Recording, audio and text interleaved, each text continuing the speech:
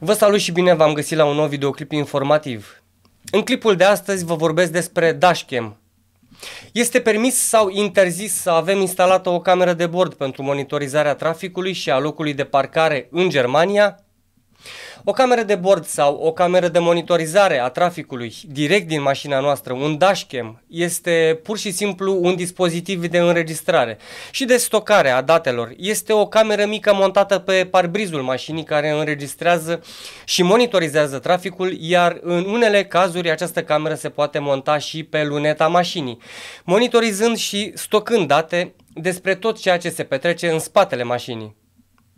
Cele mai multe camere de bord vin încă din fabrică cu opțiunea de parking mode, care poate fi utilizată pentru a înregistra incidentele care se petrec în parcare după părăsirea mașinii dumneavoastră, dar și pentru a acționa ca un factor de descurajare a furturilor și a daunelor în timp ce dumneavoastră vă aflați în afara vehiculului. Alegerea instalării unei dashcam în autoturismul dumneavoastră este întotdeauna o opțiune bună pentru monitorizarea atât a traficului cât și a locului de parcare. Dacă ați înregistrat un incident pe care doriți să îl raportați oficial, puteți trimite datele stocate pe cardul acesteia sub formă de poze sau videoclipuri la poliție, arătând în acest fel faptul că nu dumneavoastră sunteți vinovat într-un accident, ori să raportați o persoană care v-a zgâriat mașina sau uh, în cazul nefericit, în, caze, în cazul în care mașina dumneavoastră vă este vandalizată. Prin urmare, iată cum un dashcam este foarte utilă, deși utilizarea acesteia în timpul conducerii vehiculului este o problemă destul de controversată în Germania. Așadar, ne întoarcem la prima întrebare și anume, sunt interzise camerele de bord în Germania? Răspunsul este nu. Utilizarea camerelor de bord nu este interzisă în Germania, chiar dacă mulți oameni încă mai cred acest lucru. Cu toate acestea, ele pot fi folosite doar pentru a înregistra o situație specifică în trafic sau în parcare și nu pot fi activate să filmeze permanent. În plus, legea spune că înregistrările pot fi salvate doar pentru o perioadă scurtă de timp, în așa fel încât să nu poată pune în pericol drepturile personale ale oamenilor. O altă întrebare pe care am primit-o este dacă înregistrările cu camera de bord sunt admise ca și probă la dosar într-un proces în Germania. Acest lucru depinde întotdeauna de cazul juridic individual. În principiu, înregistrările pot fi folosite ca dovadă, ca probă, spune legea, cu condiția ca reglementările privind protecția datelor să fie respectate la înregistrare. Ca și paranteză, protecția datelor în Germania înseamnă dreptul la autodeterminare informațională, iar dreptul la autodeterminare informațională înseamnă că fiecare cetățean are dreptul fundamental de a decide singur cu privire la publicarea sau utilizarea datelor sale.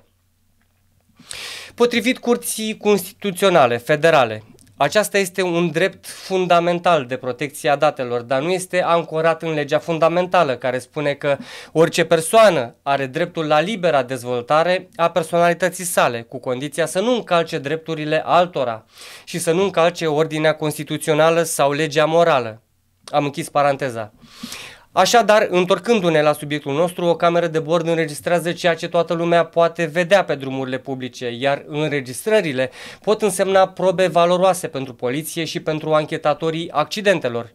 Totuși, condiția este ca această cameră amplasată în vehiculul dumneavoastră să nu filmeze continuu, ci doar la intervale scurte de timp, iar înregistrările ar trebui suprascrise. Numai în caz de accident este permisă păstrarea datelor de pe cardul acesteia pe termen lung, ca și probă pentru poliție.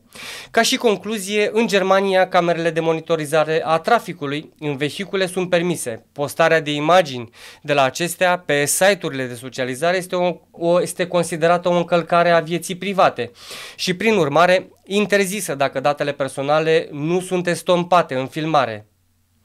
În anul 2018, Curtea Federală de Justiție a hotărât că, deși înregistrarea permanentă a evenimentelor rutiere este inadmisibilă în temeiul legislației naționale privind protecția datelor, înregistrările efectuate pot fi totuși utilizate ca probă în procedurile civile, după o analiză atentă a intereselor implicate.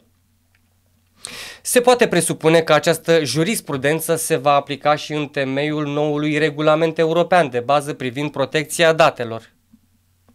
Eu cam atât am avut de spus în legătură cu subiectul nostru de astăzi și vă mulțumesc că ați rămas alături de mine până la final.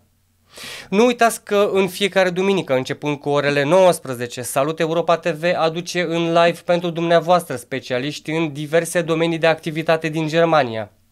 Oameni competenți și pregătiți să vă susțină cu informații corecte din punct de vedere legal, informații menite să vă educe. Să știți, să cunoașteți despre ceea ce aveți de făcut în momentul în care întâmpinați probleme sau aveți incertitudini cu privire la diferite aspecte ale vieții dumneavoastră în Germania. De aceea, vă aștept să fiți prezenți în live și să le adresați întrebări invitațiilor mei în chatul live. Vă mulțumesc, numai bine și sănătate vă doresc!